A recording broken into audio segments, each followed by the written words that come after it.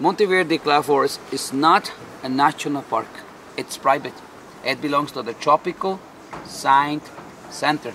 The money you pay to come today here goes into environmental education program, investigation, recycling, buy more land, maintain the trails.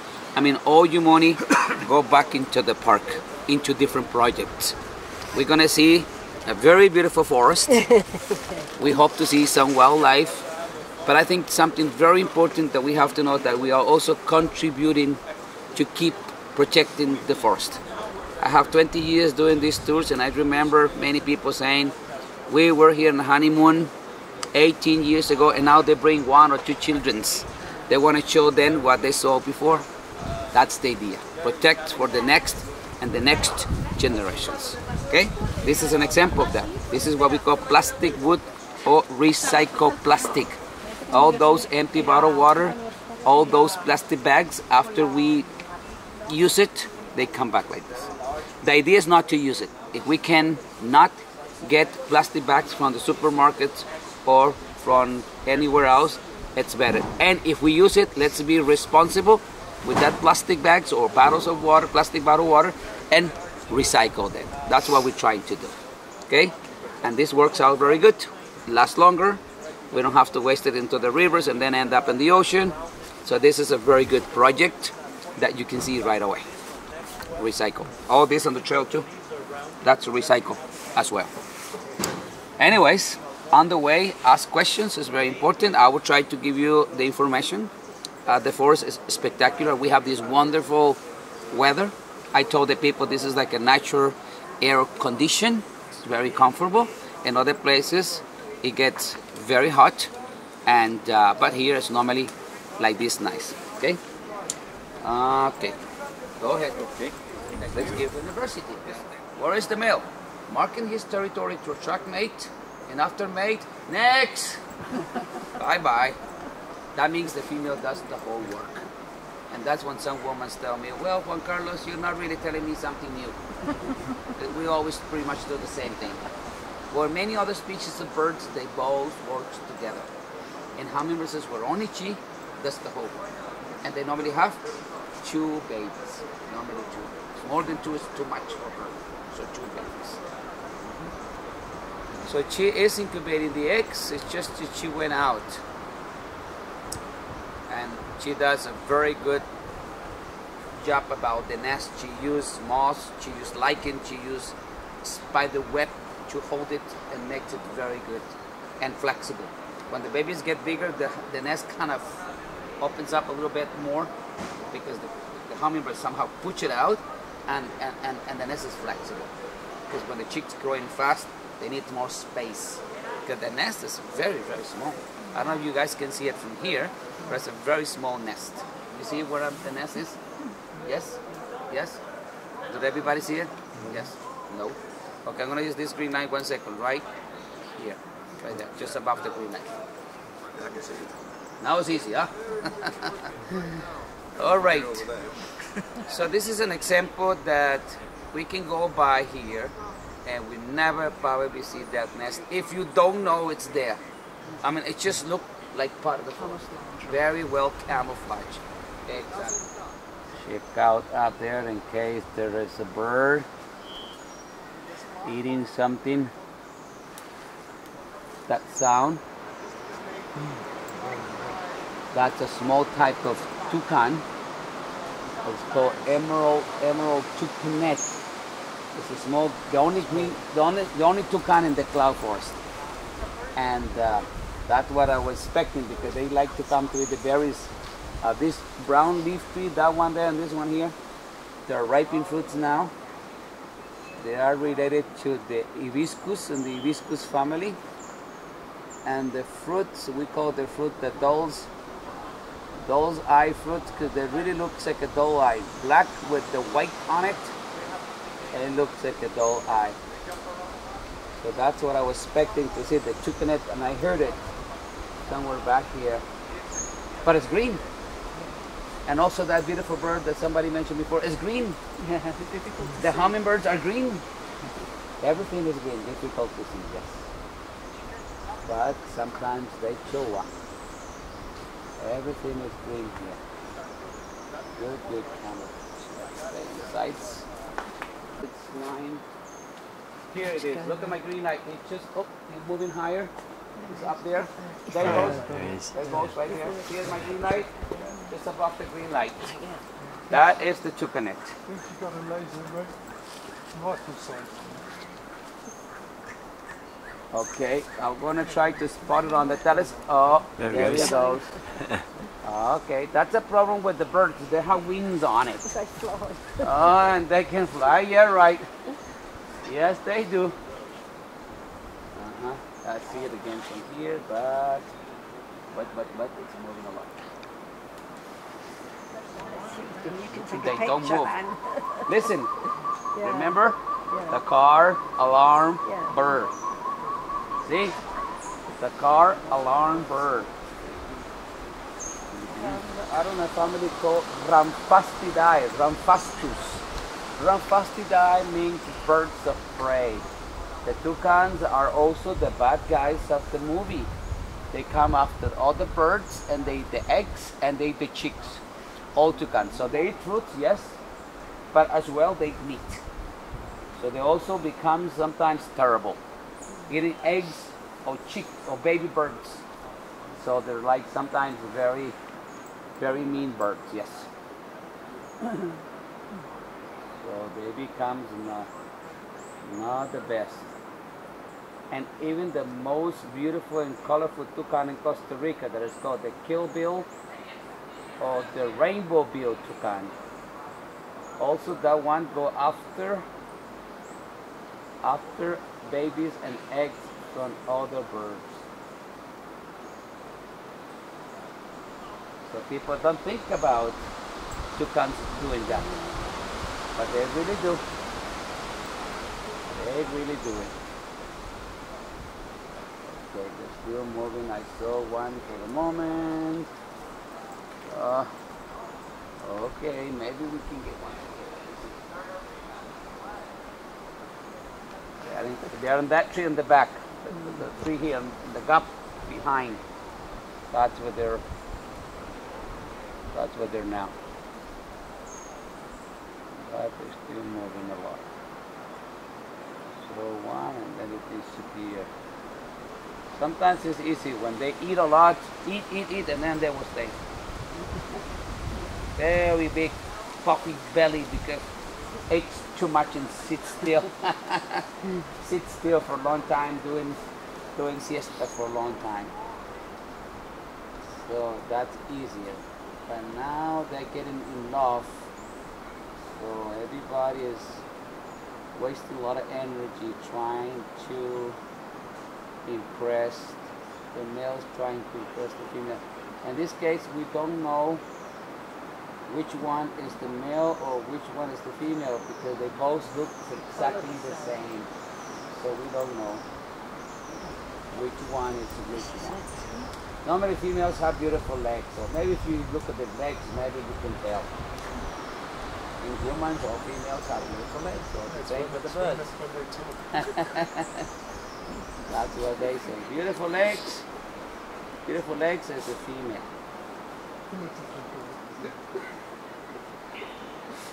Oh well. I saw one and then disappeared. Maybe later we have uh, the-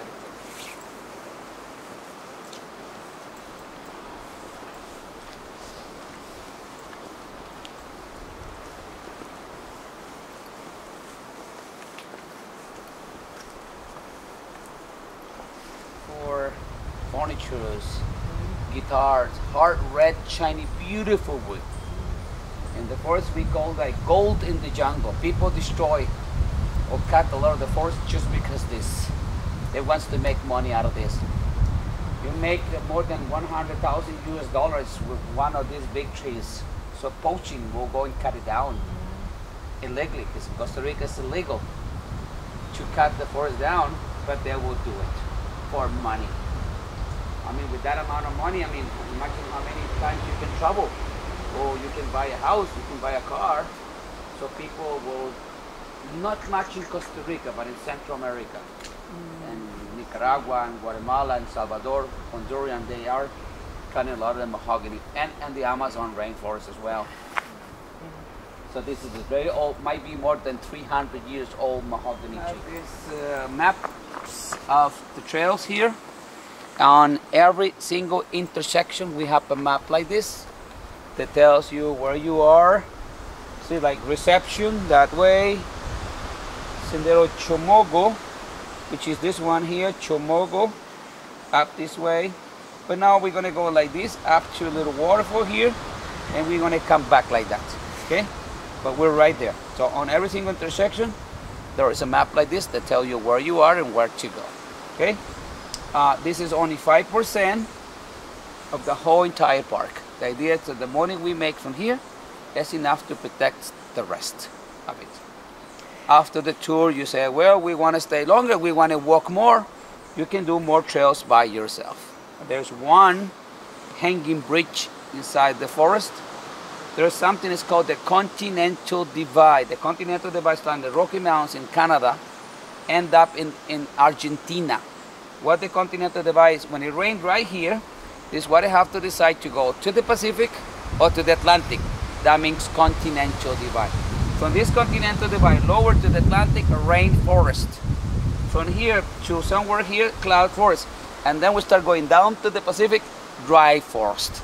When you go anywhere in the Pacific, it's going to be very, very hot and very dry. I call that the bikini area.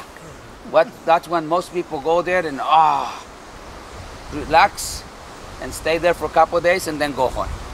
Because it's hot, hot and dry. And most places that people come from North America, from Canada, from the United States, or from Europe, it's cold, so they want to have some good timing before they go home. Pacific size, down to the Pacific. For me, it's too hot. Everything is brown, dusty. It's like not doesn't look alive to me. But like I'm saying, for people that likes to go bikini, it's okay. And if you go to Manuel Antonio, Antonio have both. You can go to get the sunlight, and you also have uh, the national park where you can see a lot of wildlife, iguanas, um, sloths, monkeys, uh, more wildlife. Manuel Antonio is a very good place to see wildlife. This is more difficult to you because it's more dense. If you don't enjoy the forest, if you don't enjoy this natural air condition that I tell you, you're missing the most important. You saw there are birds. There's a colibri. There was toucans but difficult to see. We also have sloths, we also have monkeys, I told you. We also have a lot of wildlife, but difficult to see. Every wildlife we see, it's a bonus. It's good. Anyways, this is the trails of the map, only 5%, 5% of the whole park. The idea is protect more and get some benefit out of it. Okay? And more of that plastic wood all over the place. All that recycled plastic.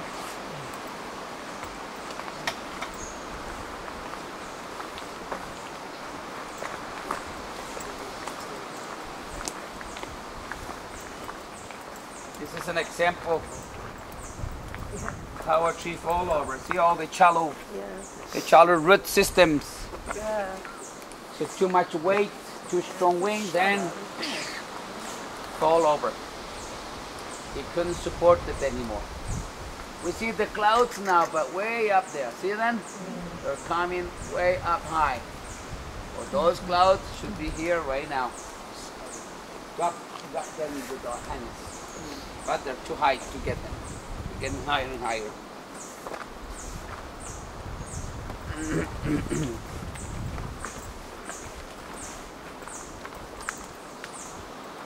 There was a bird sound we just heard. Very, we call him the squeaky door or the rusty gate bird.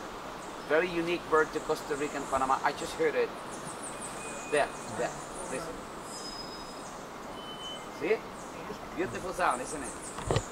We call the squeaky door bird. Hopefully sometimes he show up easier and we can see it. But it's a small bird, orange beak, orange uh, legs and a black mask and a kind of bluish body. But that's the squeaky door bird. gate. Sounds like a rusty. No oil in it. Mhm. There. Yeah. See, palm, heart to palm. The orange coloration here is like Here's the restaurant. Come and get the berries, eat it, and disperse the seeds. Don't be bit. worried about that, my friend. That's water pipe with water pressure, Oh, is it? so it's nothing there. It's just water. We get the water from spring water, spring water, and it goes along to a big tank, and that's because they have pressure, so they're escaping the the the, the oxygen out.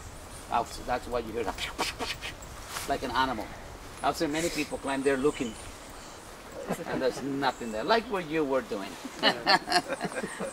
Anyways, uh, when the fruits, when the fruits are ripe, they're black, and that's when the birds eat it. Heart the palm, heart the palm family. We have salads, and they put these slides of palm, heart palm. Well, it comes from a tree related to this one. The scientific name for this one is Chamaedorea tepejilote, and when the birds eat the fruit, when the fruit are done, happens something like this, and this is what we call the chicken leg or chicken foot. It looks like it. Or sometimes they also call it the bamboo palm, because the mm. trunk looks like a bamboo.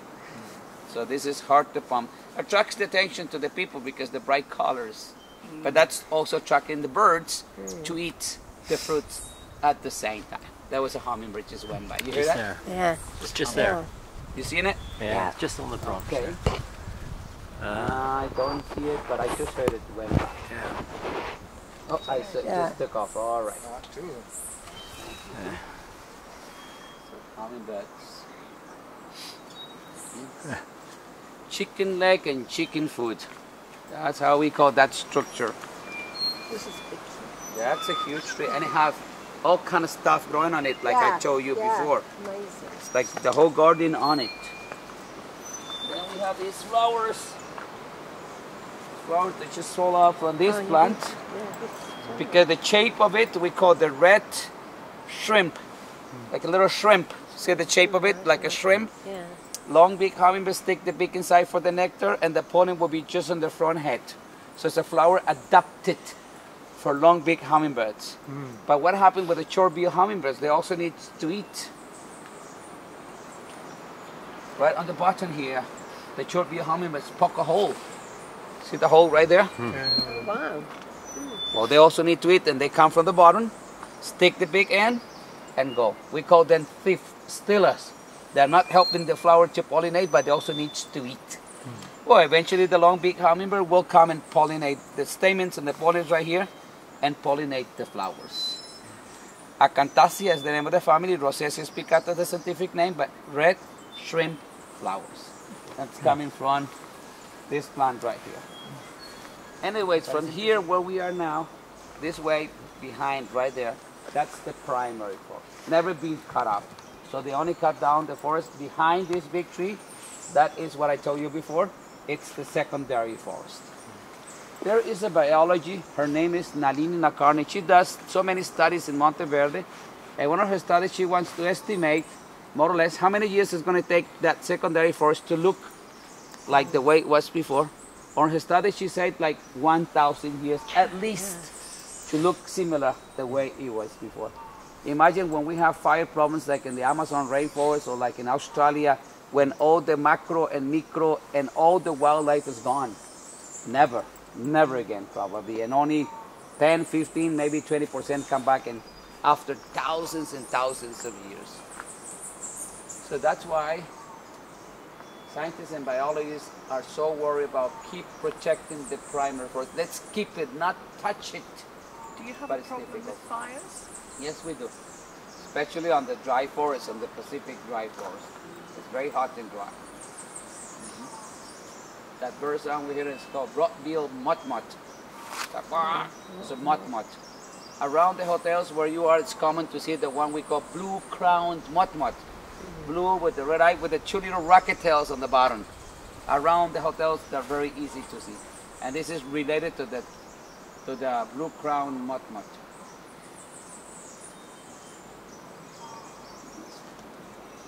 Is back there somewhere. But there is a mud mud.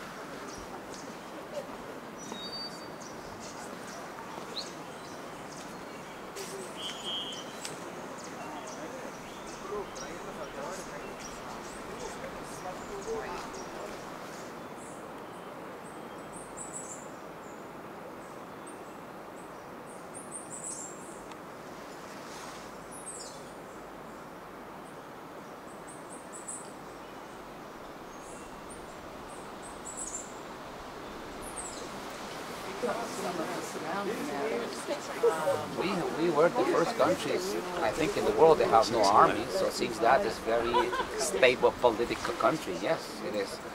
So you guys, we have this big tree here. It's called the strangler fig tree that you've probably seen before. So all we see are roots that came from the top down, around, on top of another tree. And what happened to that original tree? It rots and it's already gone. If you look inside, there's hollow, empty, all the way to the top. Why is that? Because the original tree is already gone. So he already kills it. And it's called strangler fig tree. We strangle another tree. So he's a killer and it's a type of fig. When he have fruit, he produce fig fruit, good for birds, good for animals to come and eat it. It's a fig. Let's strangle another tree, not another fig, another kind of tree. Big strangler fig. It might be more than 200 years because the original tree is totally gone. That's panorama, but that's the size.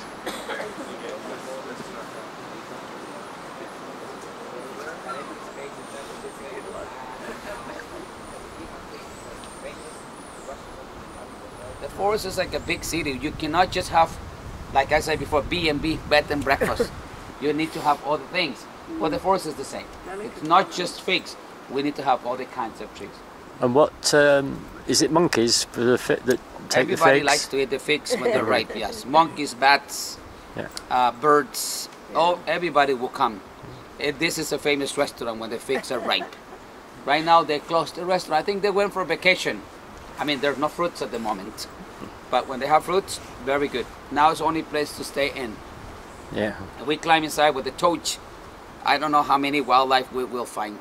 Probably owls sleeping, maybe uh. snakes, spiders, bats. So much wildlife living inside there.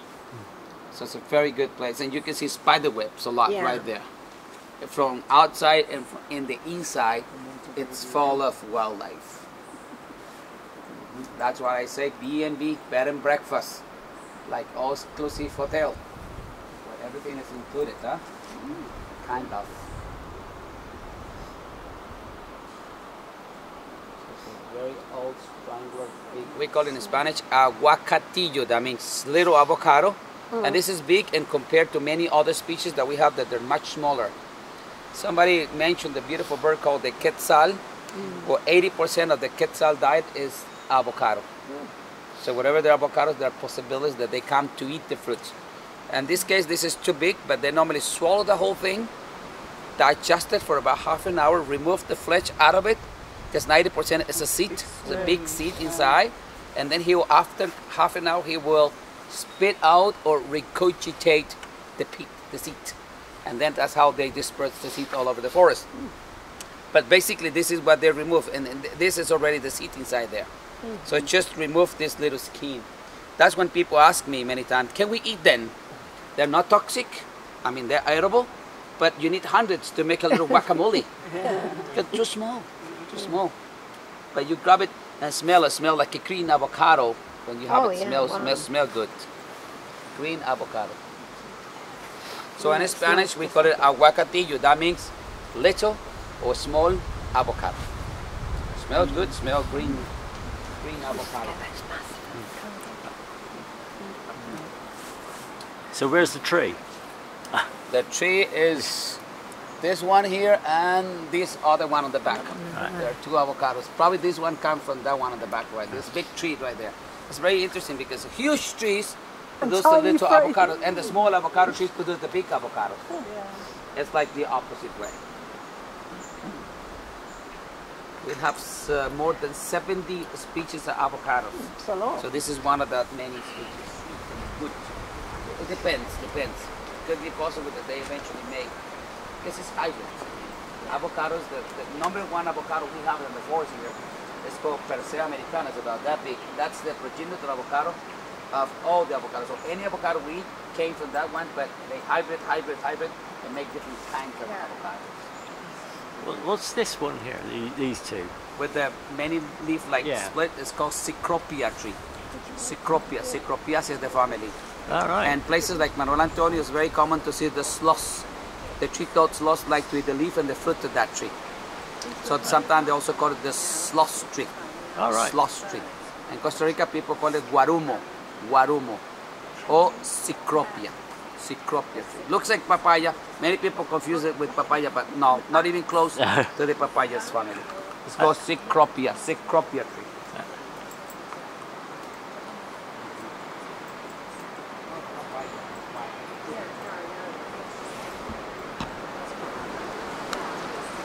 So, yeah, because we, we quite a lot of people.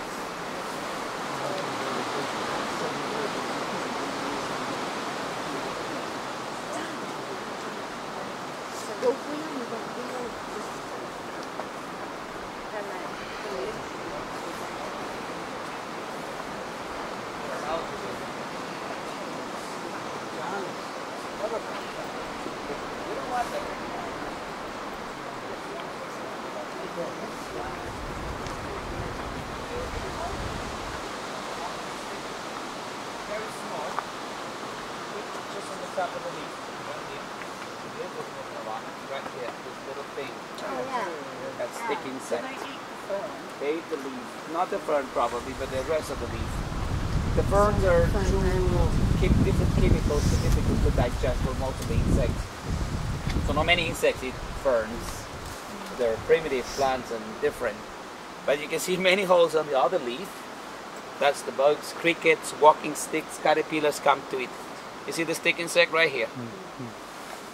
So they come normally leaves. But on the fern looks more like part of the fern leaf. So it probably oh, feels more Just like comfortable. home. Legs, yeah. Yeah, it is just like home. You've got yeah. ferns and stick insects. I mean, when I was allowed.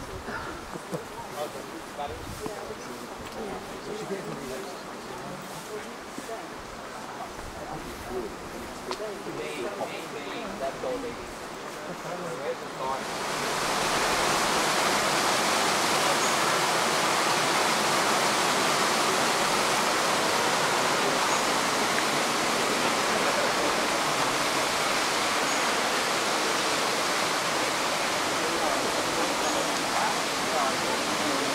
eat.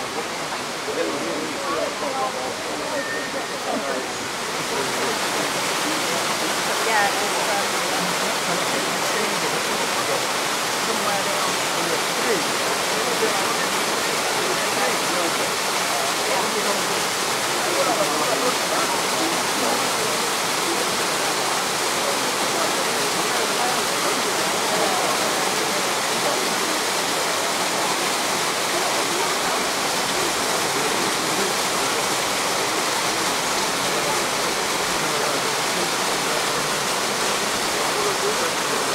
especially birds that are endangered species of birds, like this quetzal we were talking about before. So they nest inside dead standing trees. So we're trying to put more nests to help them to continue nesting. You see the nest? Right, right, right. So we have lots of those artificial nests to help them to nest. They will nest in this coming month. This month and the next month they're nesting. So some of them use those they don't find many dead standing trees in the forest. And the wood that they use have to be soft because the bills are not as strong as a woodpecker. And there are not many, so we're trying to put this artificial nest to help them to nest there. That's the idea. The quetzal, the beautiful bird, that it's starting to nest at this time of the year. Yep, there are many of those.